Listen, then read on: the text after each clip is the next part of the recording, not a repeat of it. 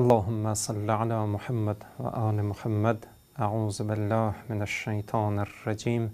بسم الله الرحمن الرحيم. رب اشرح لي صدري ويسر لي أمري.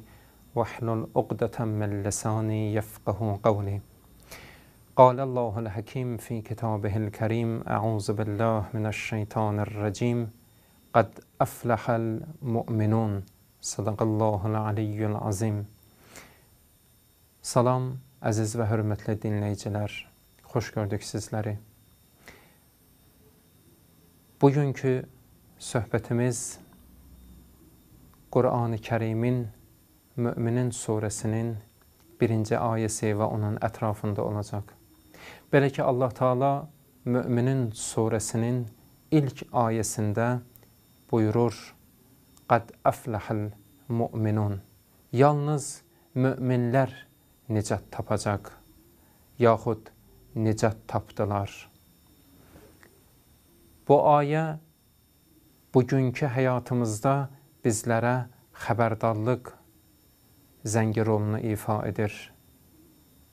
Hansısa əməllərimizlə, hansısa düşüncələrimizlə özümüzü aldadıb, əsassız şeylərə arxalanıb, ümid bağlayıb, qiyamət günündə nicat tapanlardan olmağımıza ümid etməyək.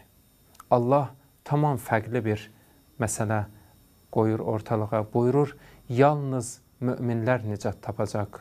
İnsan əgər Allaha, onun peyğəmbərinə və qiyamət gününə və göndərdiyi hər bir həqiqətə iman gətirməzsə, nicat tapanlardan hesab edilməyəcək. Mən yaxşı insanam, qonşumla gözəl davranıram, ata-anama hər zaman yaxşılıq etdim və sair bu kimi ibarələrlə özümüzə aldadanlardan olmayaq. Allah buyurur, nicat yalnız və yalnız iman əhli üçün olacaq, möminlər nicat tapacaq. İmam Rıza əleyhissalam bir hədisdə belə buyurur, La yekunul mu'minu mu'minen hatta yekune fihi selasu hisalin.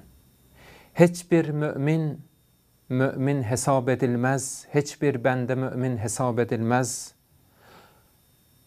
Məgər onda üç xislət ola. Yəni bu indi sadalayacağımız üç xislət bir insanda olmayınca İmam Rıza ağa buyurur ki, o insan mümin hesab edilmez. O xislətlər hansılardır? Həzrət buyurur, Sunnətun min Rabbih və sunnətun min nəbiyyih və sunnətun min valiyyih. Gərək hər bir kəsdə Allahdan bir əlamət, bir nişanə, həmçinin Peyğəmbərindən bir nişanə və imamından da bir nişanə olsun. Yəni bir Allahdan, bir peyğəmbərindən və bir də peyğəmbərin haqq canişini hesab edilən imamdan insanda bir rəftar, bir xüsusiyyət olmayınca Həzrət buyurur, heç kəs mömin hesab edilməz. Sonra İmam Rıza əleyhissalam bu sözlərin təfsirinə varıb belə buyurur. Fəəmməs sünnətu min Rabbih fəkitmanu sir.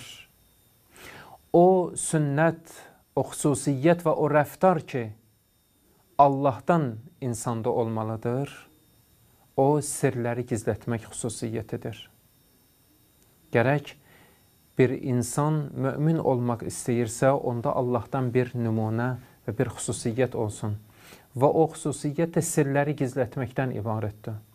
İmam buyurur ki, Necə ki Allah sirləri gizlədir, gərək insanlar da bu cür olsun. Hər bir kəsin bizim yanımızda bir sirri ola bilər. Necə ki bizim də digərlərinin yanında bir sirrimiz əmanət olaraq ola bilər. Allah bizim sirlərimizi gizlətdiyi kimi, bizim eyib və qüsurlarımızı, nöqsanlarımızı gizlətdiyi kimi, bizlərin də bəndə olaraq vəzifəmiz bundan ibarətdir. Allahın da bizlərdən bir bəndə olaraq təvəqqüsü və gözləntisi budur ki, bizlər də onun kimi sirləri gizlədib örtbasır edənlərdən olaq.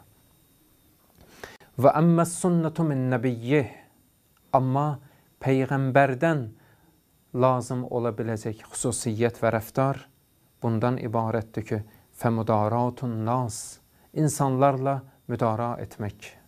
Gərək iman əhli olmaq istəyən hər bir kəsdə peyğəmbərin də bu xüsusiyyəti olsun. İnsanlarla müdara etmək. Müdara nə deməkdir? Müdara yəni mehribanlıq, gülərüzlü olmaq, nəvazişkar olmaq. Qaşqabaqlı olmağın tam əksi. İslam peyğəmbərinin ən böyük xüsusiyyətlərindən biri onun insanlarla gülərüz və mehriban olması idi, bu cür davranması idi. Və əmmə sünnətu min vəliyyih.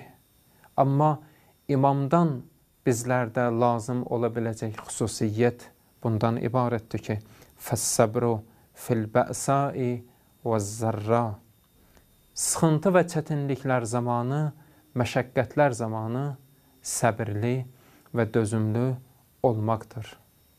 Deməli, iman əhli olmaq istəyən hər bir kəsdə Allahdan bir xüsusiyyət, peyğəmbərindən də bir xüsusiyyət və eyni zamanda imamından da bir xüsusiyyət olmalıdır. Allahdan lazım olan xüsusiyyət sirləri gizlətmək, Peyğəmbərə xas olan xüsusiyyət insanlarla müdara etmək, onlarla mülayim olub xoşrəftar olmaq, nəzakətlə davranmaq, imamdan lazım olan xüsusiyyət isə sıxıntı və çətinliklər zamanı səbirli olmaqdır. Ümid edirəm Allah Taala bu üç xüsusiyyəti qazanıb əldə etməyi hər birimizə nəsib etsin və bu xüsusiyyətləri qazanıb əldə etməyin sayəsində bizləri həqiqi iman əhlindən və qiyamət günü Quranda dediyi nicat tapan möminlərdən olmağa müvəffəq etsin inşallah. Esselamu aleykum və rəhmətullahi və bərəkatuhu.